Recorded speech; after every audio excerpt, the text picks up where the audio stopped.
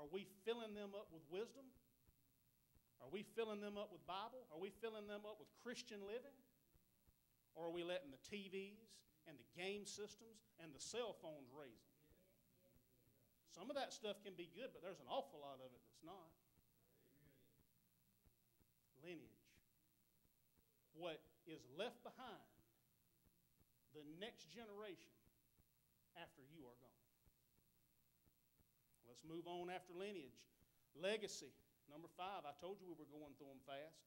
Same 34th chapter of Deuteronomy, verses 10 through 12. This was probably, in, in all of this study for me, this was the most awesome stuff that I, it's all great. But you know, this, just read these three verses. In Deuteronomy 10 through 12, chapter 34. Now, Moses is, he's gone. We're going to talk about that in a minute. It says, And there arose not a prophet since in Israel like Moses, whom the Lord knew. What was the song? Face to face. What a compliment. I'm going to read it again. And there arose not a prophet since in Israel like Moses whom the Lord knew face to face. That means it was intimate. That means it was personal. That means it wasn't just a passing fancy. That means Moses and God were tight.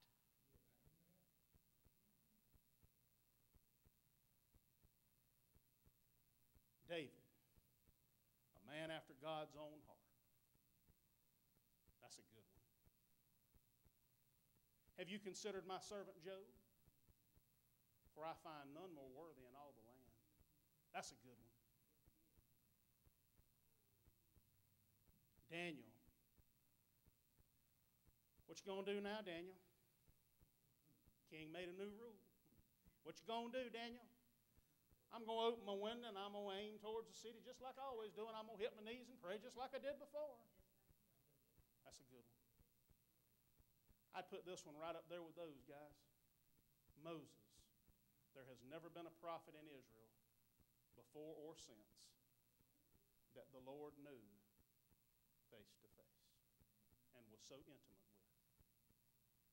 Wow. We're going to land the plane talking about the love of a father. How much did God love Moses? Well, God loves us all, doesn't He? God loves us all so much. But let's look at his love and care for Moses as a father should. Look at the sixth through the eighth verses on that 34th chapter. Verses 6 through 8. It says, And he buried Moses, or he buried him, in a valley in the land of Moab, over against Beth Peor, but no man knoweth of his sepulchre unto this day. I'm going to stop right there. Did y'all catch that? Did y'all catch what was special about that verse? Focus on the word he. Who was he? God buried Moses. God himself buried Moses. How about that for an undertaker and six pallbearers? God buried Moses. That just hit me. What an awesome, awesome honor for God to bury you. And God did it so. How many of y'all know when God does something, He does it right? Ain't no grave robbers. Nobody can find Him. Why? God did it. God did it, and God did it right, and God meant for Him not to be found, and He hadn't been found since. And He never will be. God buried Moses. That just really stuck with me. Let's keep going. It gets good. It gets good again. And Moses was 120 years old when he died.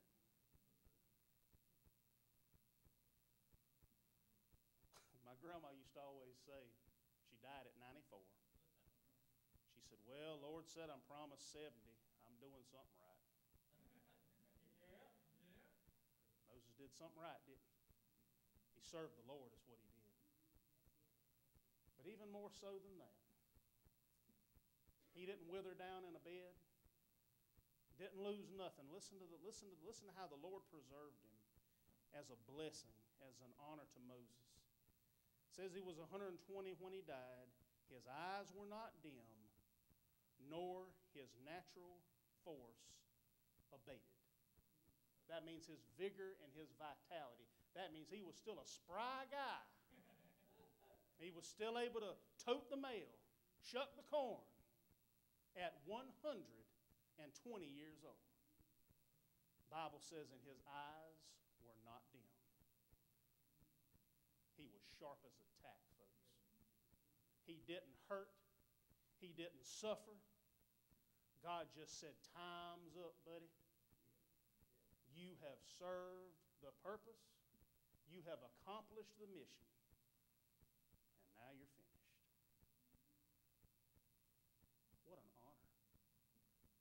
What a tribute. When I was reading that, that just spoke to me. God buried him. And when he buried him, he, he just took him just like that. Just laid him down and he died.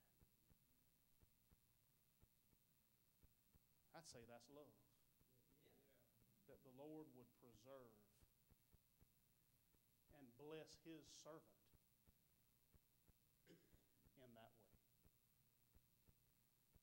We've talked about the lessons of a father. We've talked about the lineage of a father. We've talked about the legacy of a father. We've talked about the love of a father. It is an awesome responsibility to be a father. Great. I wouldn't trade anything for it. Some days have been fun and some days have been unfun, but I wouldn't trade any of it. But now I want to shift for a second. This is Father's Day. And those of us that still have our fathers, we recall them fondly. Those of us that our fathers have gone on, we have fond memories in our heart. But I want to ask you one second. This morning I was fortunate enough to be able to call and wish my father a happy Father's Day. How much time and how much effort have we put into the Father that matters the most? I want to encourage you today. You get ready, Billy, whatever you're going to sing, however you're going to close right now? First of all, if you don't have a relationship with the Heavenly Father, Jesus Christ, then today you can offer up absolutely the greatest Father's Day present than he could ever get. And that is you. That is your heart. That is your commitment that you will love the Lord and serve Him for the rest of the days of your life. It's the greatest decision you'll ever make. It's the only decision that matters. We will give physical Father's Day gifts today. We will give cards that will get lost, thrown away, or discarded. We will get shirts that will get stained or wore out in the wash, or in my case, outgrown we will give physical and superficial gifts that are fine and well and present a nice gesture. But the greatest gift that we can give the Lord is, first of all, our heart. And if we've done that, and I applaud you if you have, if you're a Christian today, good for you. But we can all be better sons and daughters, can't we? Every single one of us. We take slack spills. Doesn't mean he doesn't love us. Just like with Moses, he got angry, but he still offered that second chance, didn't he? That's the great thing about God. As long as you have breath in your body, 120 years old, as long as you have breath in your body and you are able, you still have a chance at salvation. Why in the world? I've said it before, but boy, I mean it now. Why in the world would you go out into that crazy world without Jesus in your heart?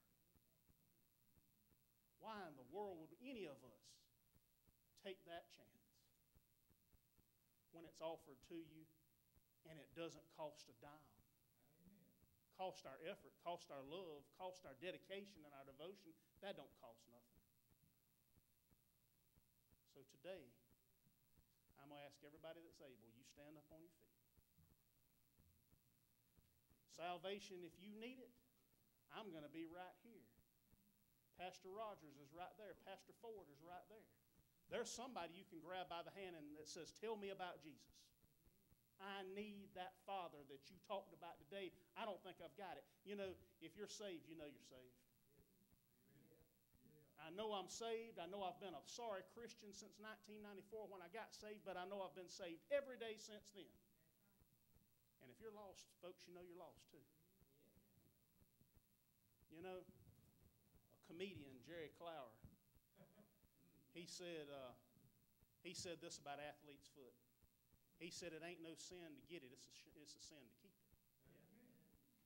It's not, don't be upset to be lost, but be very upset to stay lost.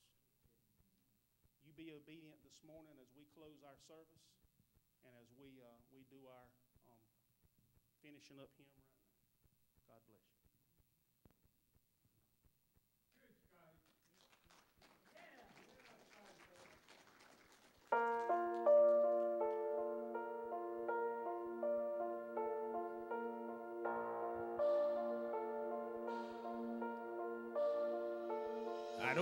anymore. Teach me to listen. And I don't want to see anymore. Give me a vision that you could move this heart to be set apart. I don't need to recognize the man in the mirror. And I don't want to trade your plan for something familiar. Can't waste a day. I can't stay the same. I want to be different. I want to be changed. Till all of me is gone. And all that remains is a fire so bright that the whole world can see there's something different. So come and be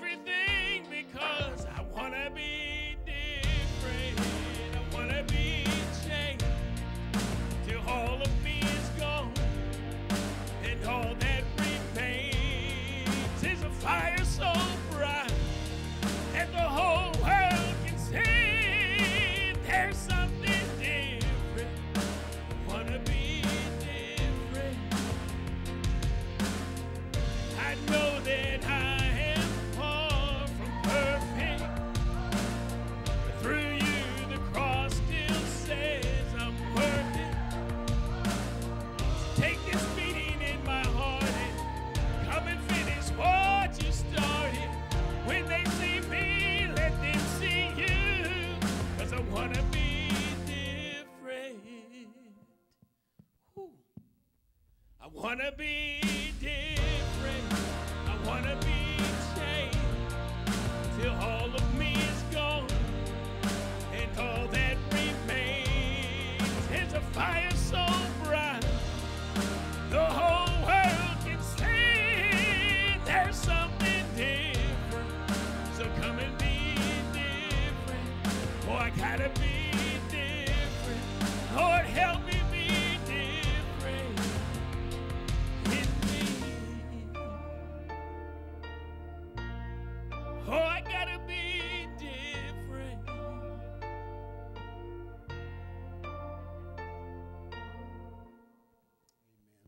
God a good hand clap, will you?